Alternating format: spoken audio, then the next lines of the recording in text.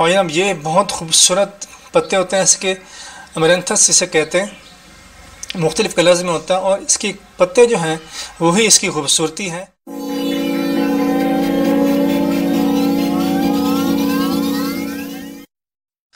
बसमीम अस्सलाम in house gardening में आपको खुश आमदीद।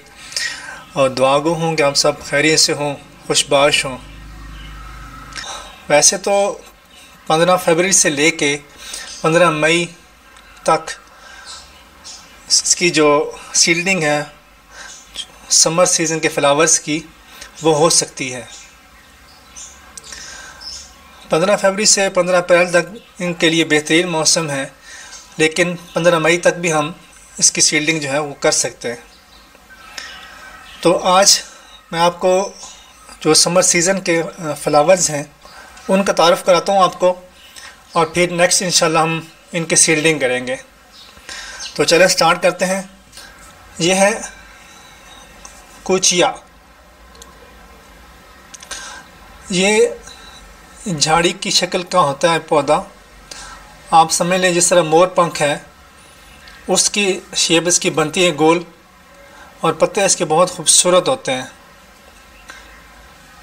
ये मैंने किलार्डिया मंगवाए हैं फूल। ये भी बहुत खूबसूरत होते हैं।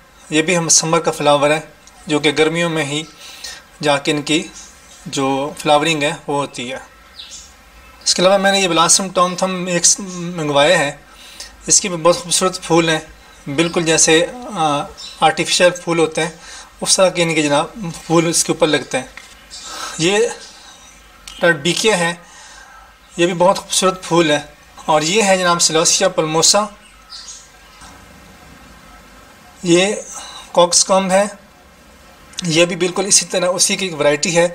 लेकिन ये, इसकी जो फूलों की शेप है, ये मुख्तलिफ़ होती है। ऐसे जैसे कि मुर्गे की कलगी जो उसके ऊपर, सर के ऊपर होती है, बिल्कुल इसका उसी तरह का डिज़ाइन होता है। ये जीनिया है। जीनिया मिक्स है इसमें। सुपर योगा, ये थोड़ा, इसकी इसकी वैरायटी काफ़ी सारी है जीनिया की भी। इसमें ये सुपर योगा जो है, इसकी जो पत्तियाँ हैं, वो घनी होती हैं, उसका जो डिज़ाइन है, वो बहुत खूबसूरत होता है, भरा भरा सा पौधा, भरा भरा सा इसका फूल होता है। ये सनफ्लावर टेडी बियर है। ये भी सनफ्लावर की एक वैरायटी है। और ये बहुत खूबसूरत पत्ते होते हैं, इसके अमरंथस इसे कहते हैं, मुख्तलिफ़ कलर्स में होता है। और इसके पत्ते जो हैं वही इसकी खूबसूरती है। इसके फूल वगैरह कोई नहीं लगते। हम अपनी नेक्स्ट वीडियोज़ में आपको फूल लगाना, इनकी पनीरी लगाना सिखाएँगे और आपको बताऊँगा कि मैं हम, इनको कैसे सीलिंग करनी है और कौन सी हम कंपोस्ट या मट्टी का जो कौन सा मीडिया हम यूज़ करेंगे जिसके अंदर ये आसानी से हो सकते हैं। तो उम्मीद है आपको इसमें कुछ इन्फॉर्मेशन मिली होगी।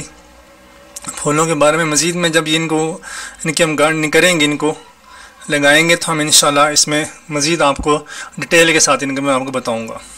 तो नेक्स्ट वीडियो तक के लिए इजाज़त दें, खुश रहें, दुआ में याद रखें और गार्डनिंग करते रहें। तो नेक्स्ट वीडियो तक के लिए अल्लाह हाफिज़।